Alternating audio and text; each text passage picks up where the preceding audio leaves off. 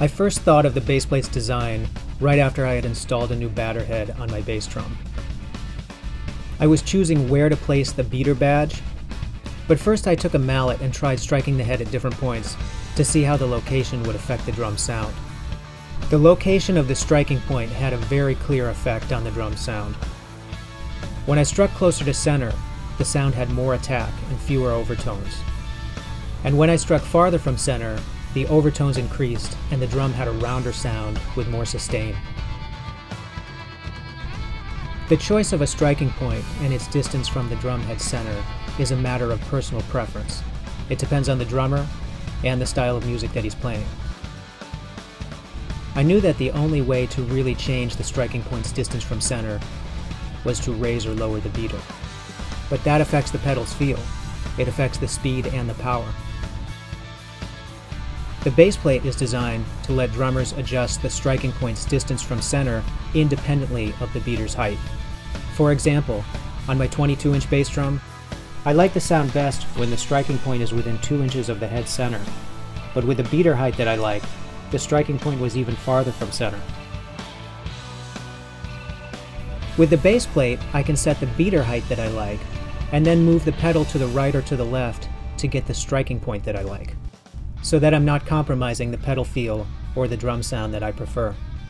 And when I use a double pedal, I can make sure that each beater's striking point is the same distance from the drumhead center for identical sound. The bass plate's width lets drummers get the striking point farther from center than ever before.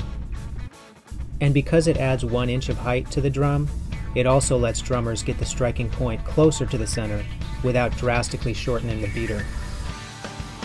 It lets each drummer get the sound he wants without sacrificing the pedal feel that he likes.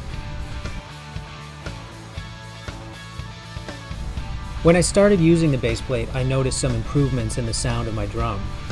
I wanted to test this, so I brought the drum into the studio and played it with and without the bass plate. We could see that using the bass plate boosted the drum's frequency response in the low, mid, and high ranges.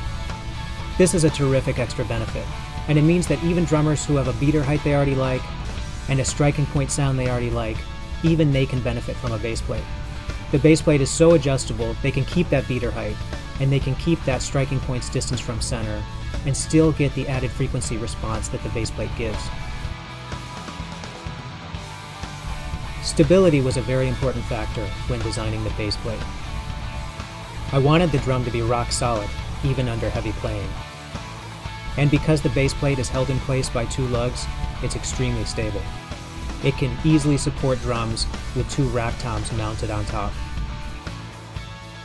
And because the bass plate is only about one inch off the drum, the drum will still fit into soft and hard cases as easily as ever. The bass plate is easy to install. Remove the two bottom claws on the batter side. Take off the resonant head remove the screws from the two bottom batter side lugs. Then, place the bass plate on the shell. It has rubber pieces where it touches the shell, so the drum's finish is protected. Screw the lugs back on, put the claws and the resonant head back on, and you're ready to play.